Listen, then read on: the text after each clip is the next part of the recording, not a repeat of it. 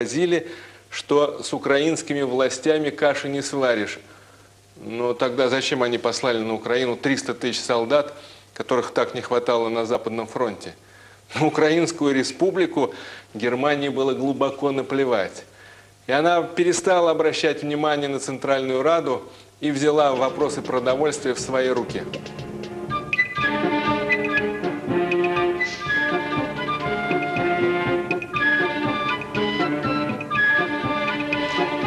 Украинские власти могли строить любые иллюзии, но их правительство было сугубо марионеточным. Сменить такое правительство было делом техники, а найти подходящий повод можно было в любой момент. Когда переворот был подготовлен к зданию, где заседала Центральная Рада, подъехали немецкие броневики и пулеметчики. Солдаты поднялись наверх и вошли в зал – в этот момент Центральная Рада обсуждала вопрос о нарушении немцами суверенных прав Украинской Народной Республики. Представители фракций выступали очень бурно. Кто-то назвал 70-летнего командующего немецкими силами на Украине фельдмаршала Эйхерна немецким лейтенантиком с нафабренными усами. Это, конечно, было типичное надувание щек и трепотня.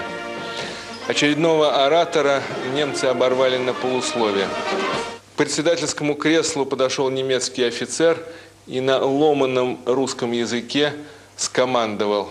По решению германских властей объявляю всех присутствующих арестованными. Руки вверх. В это время солдаты взяли ружья на прицел. Все поднялись и подняли руки.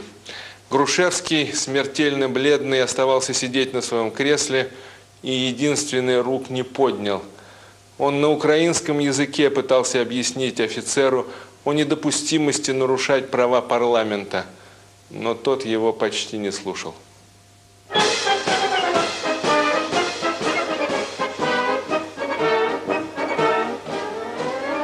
Организаторы государственного переворота избрали своеобразное место для смены политической декорации. Эта смена произойдет 29 апреля в киевском цирке Крутикова. Решили возродить гетманство на Украине на арене цирка. И она превратилась в арену истории. Это символично. Такой факт ставит неутешительный диагноз. Если говорить одним словом, это маразм. Простой здравый смысл – элементарный вкус, если бы он сохранился, не допустили бы такого фарса. Но смута мешает все понятия. В цирке собрался съезд хлеборобов. Это была общественная организация «Союз хлеборобов-собственников». Она появилась на Украине в 17 году. Союз объединял зажиточных крестьян и помещиков. Выступал он за сохранение частной собственности и против социалистических экспериментов Рады. Нам нужна для спасения страны твердая власть, бушевали ораторы. Нам нужен диктатор, нам нужен по украинской традиции етман. В это время в коридоре цирка в сопровождении свиты появился высокий, по-военному подтянутый человек в белоснежной черкеске и с орденом Георгия на ленте. Когда один из ораторов предложил в Гетманы Скоропадского, человек в белоснежной черкеске вошел в зал.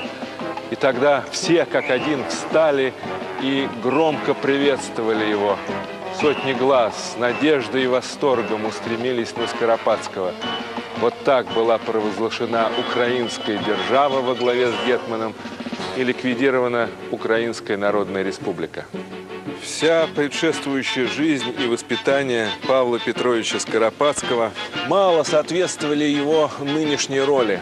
Впрочем, он действительно был правнуком Гетмана Ивана Скоропадского, который был избран вскоре после измены Мазепы по инициативе Петра. Но с тех пор много воды утекло. Павел Петрович был русским офицером, генералом. Он участвовал в русско-японской войне, входил в свиту его императорского величества Николая II, Во время германской войны он командовал полком, дивизией, потом корпусом, а в 17 году увлекся политикой.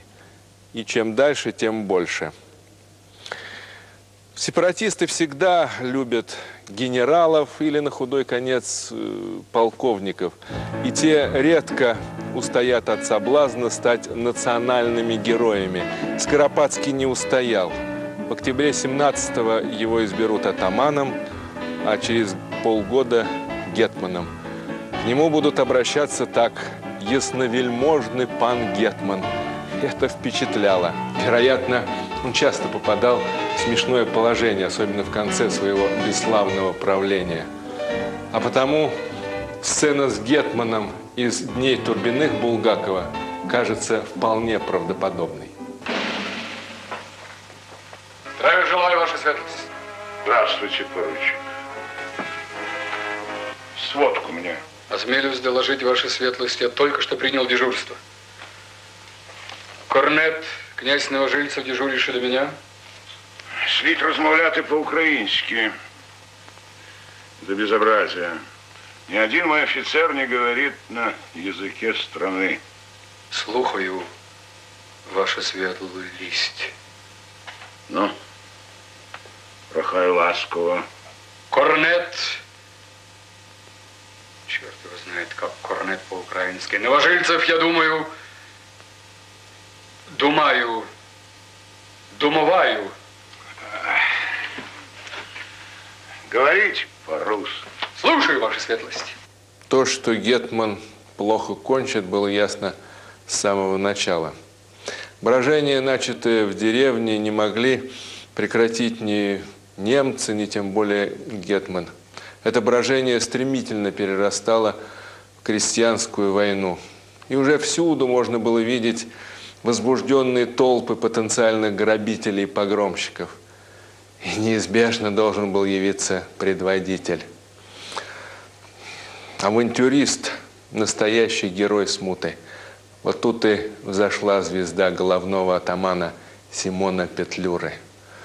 Он начал действовать под носом у Гетмана, совершенно не таясь.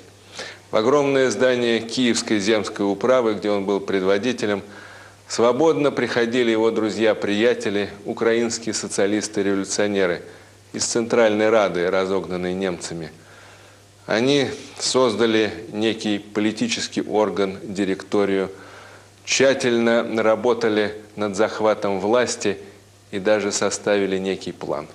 В какой-то момент Петлюра плюнет на всю эту мышиную возню и отправится в Белую церковь под Киев.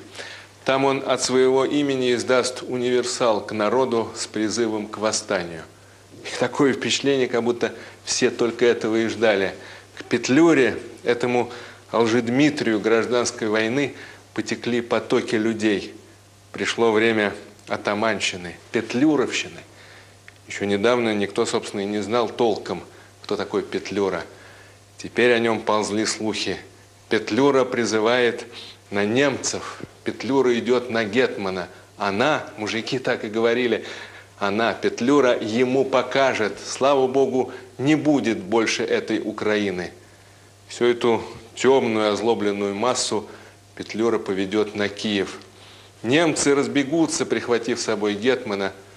Небольшая горстка русских офицеров, добровольцев, юнкера, все эти турбины ничего не смогут сделать. Их сметет Петлюровщина.